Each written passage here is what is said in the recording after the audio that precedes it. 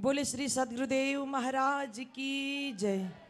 आदि शक्ति जगजननी श्री माता जी की जय। वंदे बोधमयम नित्यम।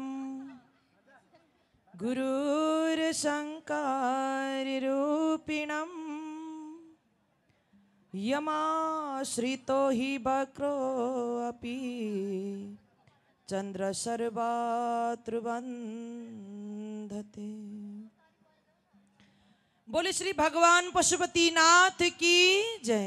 नेपाल आमा की जय। परम पूजनिष्ठ देव मञ्चमा आसीन हुनुभएका पूजनीय सन्त महात्माज्यूहरू र आजको यो अत्यन्तै महान स्वर्णिम महोत्सव मनाउनुको लागि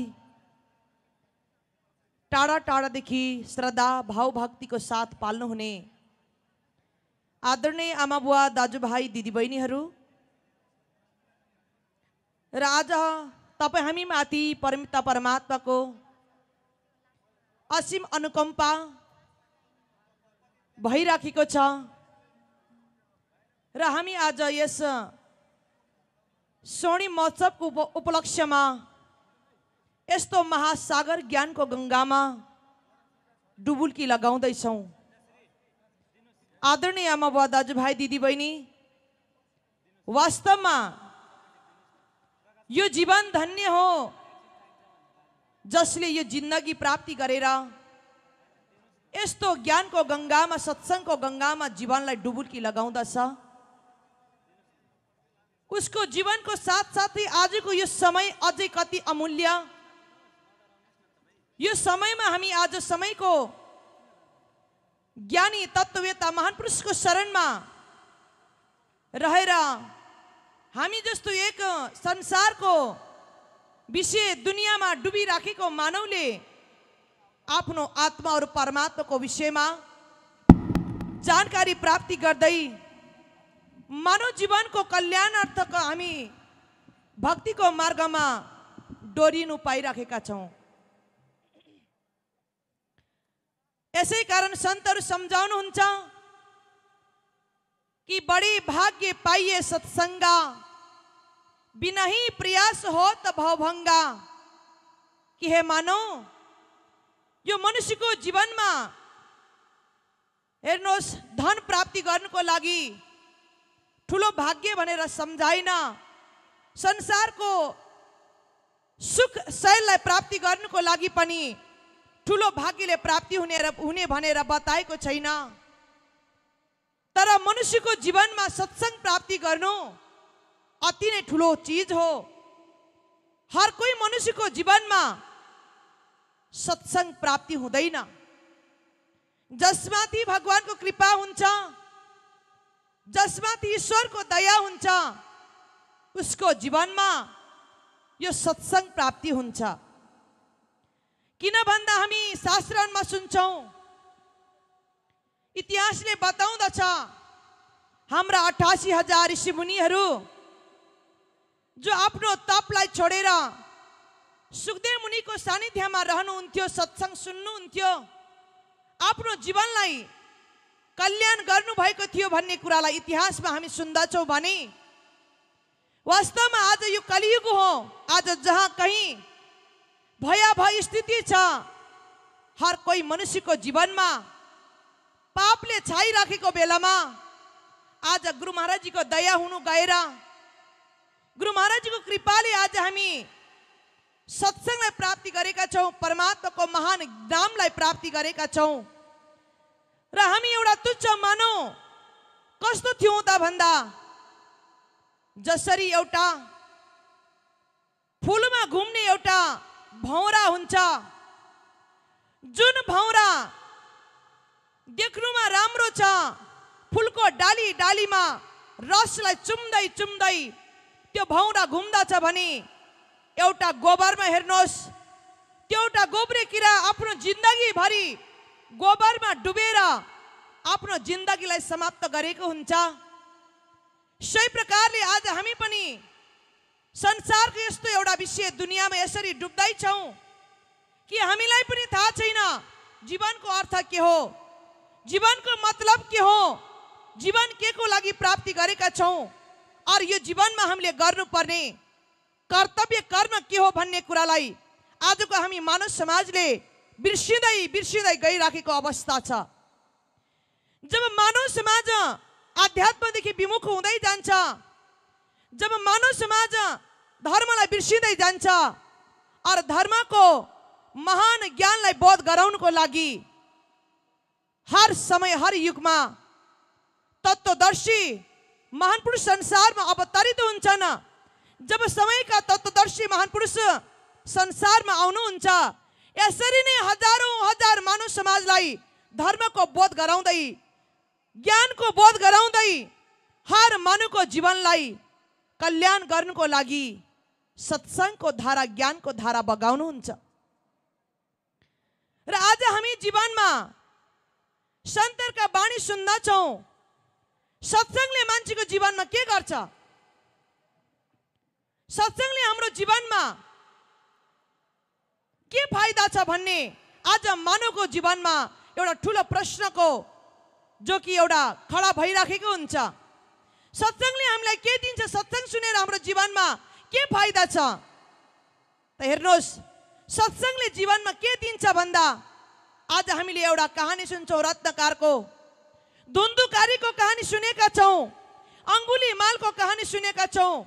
उनीहरूको जीवनलाई सत्सङ्गले के दियो त भन्दा कुकर्ममा हिँड्ने कुमार्गमा हिँड्ने अर्कालाई दुःख दिने अर्काको गला रेट्ने त्यस्ता पापी व्यक्तिलाई पनि। हेर्नुहोस् आज सन्त नारदको सत्सङ्गले गर्दा रत्नकारको जीवनलाई परिवर्तन गरिदिए। अङ्गुली मालको जीवनलाई भगवान् बुद्धको सत्सङ्गले गर्दा उसको जीवनलाई परिवर्तन गरिदिए। त आज हाम्रो जीवनमा पनि यदि हामी साँच्चै नै सत्सङ्गलाई वही रत्नकारले झैँ श्रवण गर्न सक्यौँ भने त हाम्रो जीवन पनि एउटा संसारको यो विकराल स्थितिमा हामी गुज्रिराखेको मानवले हाम्रो जीवनलाई पनि हामी परिवर्तन गर्न सक्छौँ। हाम्रो जीवनमा पनि एउटा परिवर्तन आउनेछ। त्यसै कारण गुरु महाराजजीले भन्नुहुन्छ कि मानव संसार आज कलिको हो। चार दिशाबाट कलीको प्रकोप कलीले भयानक रूप लिएर संसारमा हर मानवको शिरमा घुमिराखेको छ अरू यो मानवलाई बचाउनुको लागि एउटै उपाय छ। के हो त भन्दा त्यो सत्सङ्गको गङ्गा हो। अरू सत्सङ्गले अर्को के कुरा दिन्छन् त भन्दा आज समाजले के खोजी गर्दैछन् भने हर समाजले जीवनमा सुखलाई खोजी गरिराखेका छन् हर मानवले जीवनलाई शान्तिको बाटोमा हिँड्नुको लागि चाहिराखेका छन् र आज सत्सङ्गले त्यो वस्तुलाई दिलाउँदछ त्यस कारणले भन्दछ सत्सङ्ग हे मानो सरोवर सत्संग है मानो सरोवर सुखों की खान बंदे सत्संग सचमुच भगवान बंदे सत्संग से ही मिलते हैं। सचमुच भगवान बंदे। के भन्छन् भन्दा सत्सङ्ग के हो त भन्दा त्यो मानव सरोवर हो? सुखको खानी हो।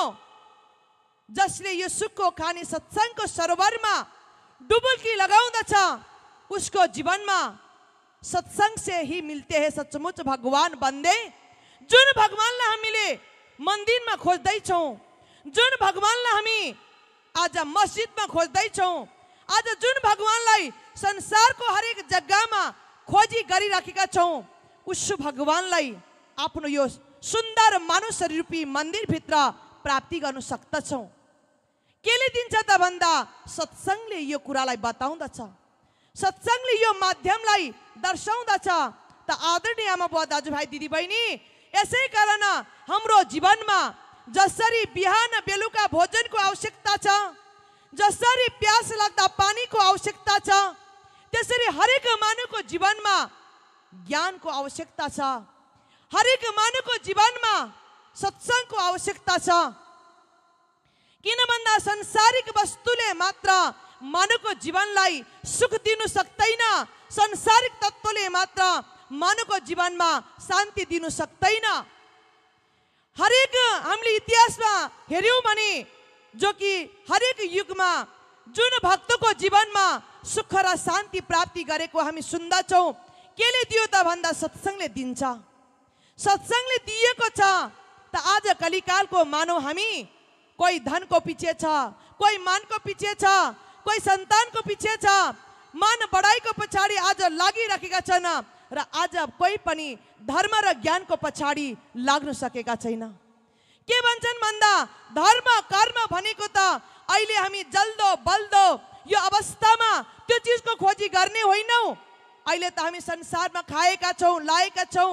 यस गरेर जीवनलाई हामीले बिताइराखेका छौँ। यो जीवनको सार। र अहिले हामीले धर्म कर्मको कुरा सुन्ने र सुनाउने बेला भएको छैन। जब हामी बुढा अवस्थामा पुग्नेछौँ बुढापामा पुग्नेछौँ जब लट्ठीको सहारा हुनेछौँ र त्यति बेला हामीले धर्मको सहारा लिनुपर्छ त्यति बेला हामीलाई धर्मको आवश्यकता पर्छ भन्ने कुरालाई आज हामी यसरी बुझिराखेका छौँ यसरी हामी सुनिराखेका छौँ। तर सन्तहरू भन्नुहुन्छ बालक छु भन्न पाइँदैन वृद्धलाई मात्र लैजान्न जवानी बालक वृद्धलाई कालले कसैलाई छोड्दैन। आमा बुवा दाजुभाइ दिदीबहिनीहरू कालले यो भन्दैन जवानीलाई लाने होइन वृद्धलाई मात्र लैजाने हो। कालले कहिले पनि भन्दैन न जवान न बालक न वृद्ध। कसैलाई पनि छोड्नेवाला छैन। जब कालको मुखमा परिसकेपछि जिन्दगीमा हामीले यदि हरिनामको कमाइ गर्नु सकेनौँ जिन्दगीमा हामीले यदि प्रभु भक्तिको कमाइ गर्नु सकेनौँ के हुनेछ त भन्दा जिन्दगीको अन्तिम घडीमा गएर भन्दा जीवनको अन्त्य घडीमा गएर जब ठक्कर लाग्नेछ जब हामीले जीवनमा चोट पाउनेछौँ त जीवनमा अन्तिममा गएर ठुलो पश्चाताप हुनेछ हाम्रो जीवनमा ठुलो हाम्रो जीवनमा हामीलाई, जो कि पश्चातापको घडी आउनेछ त्यसै कारण सन्तहरू भन्नुहुन्छ धोका होला धोका होला धोका होला है। जिन्दगीको अन्तिम क्षणमा धोका होला है। जिन्दगीको जब त्यो अन्तिम घडीमा आएपछि यदि जीवनमा सत्कर्मलाई गरेका छैनौँ भक्तिको कमाइलाई जोडेका छैनौँ जब एक दिन यमराजको फन्दामा पर्नेछौँ यमराजको बसमा पर्नेछौँ अनेकौँ अनेक दुःख र यातनालाई भोग्नेछौँ र त्यति बेला जीवनमा धोका हुनेछ। त्यति बेला जीवनमा आज शास्त्रका सन्तका बाणीहरूलाई याद आउनेछ जीवनमा ठुलो पश्चाताप हुनेछ ठुलो धोका हुनेछ। त्यसकारण सन्तहरू भन्नुहुन्छ जो कि हे मानव उपाय चाहिँ एउटै सुन कुरा राम्ररी मनमा गुण आत्मज्ञान जान्यौ भने आखिरमा पर्दैन रुन। यदि जीवनको अन्त्य घडीमा धोका खानु छैन जीवनको अन्त्य घडीमा गएर पश्चातापलाई प्राप्ति गर्नु छैन भने आत्मज्ञानलाई प्राप्ति गर्नुहोस्। आज त्यो आत्मज्ञानको बोध गराउनुको लागि समयको तत्त्ववेता सद्गुरुदेव महाराजजी आज धरातालमा पदार्पण भइसक्नु भयो संसारको जनमानसलाई जगाउनुको लागि महान पुरुषले भन्नुहुन्छ कि जाग्दै रहो जाग्दै रहो मानव जाग्दै रहो संसारमा आएर अध्यात्म जगतमा जाग। जब अध्यात्ममा जाग्न सक्दैनौ जीवनमा केही पनि हात पर्नेवाला छैन। यदि अध्यात्ममा जाग्नु सकेन संसारको विषय निन्द्रामा सुतिराख्यो भने अवश्य जिन्दगीमा धोका खानेछौँ। जिन्दगीमा अवश्य पनि पश्चाताप हामीले भोग्नु पर्छ यसै कारण सन्तहरू भन्नुहुन्छ कि जाग जाग हे मेरा दाजुभाइ पूर्वतिर भइसक्यो मिरमिरै भजनले भनिराखेको छ। आज पूर्व दिशामा ज्ञानको पुञ्ज ज्योति जलिसकेको छ मिरमिरे उज्यालो भइसकेको छ। आध्यात्मलाई जान्नुको लागि जाग हे दाजुभाइ दिदीबहिनीहरू समयका ज्ञानी महान पुरुषले आज संसारमा ज्ञानको ढोल बजाइराख्नु भएको छ र आज हामी यति बेला पनि जागेनौँ। यति बेला पनि हामीले त्यो ज्ञानलाई जीवनमा बोध गर्न सकेनौँ भने अवश्य पनि हाम्रो जीवनमा ठुलो धोका हुनेछ जीवनमा पश्चाताप हुनेछ। यस कारणले आज सन्त ज्ञानी महान पुरुषहरू मानव समाजलाई अध्यात्मको डङ्क बजाउँदै अध्यात्मको ढोल बजाउँदै जगाउने प्रयत्न गरिराख्नु भएको छ उठाउने प्रयत्न गरिराख्नु भएको छ।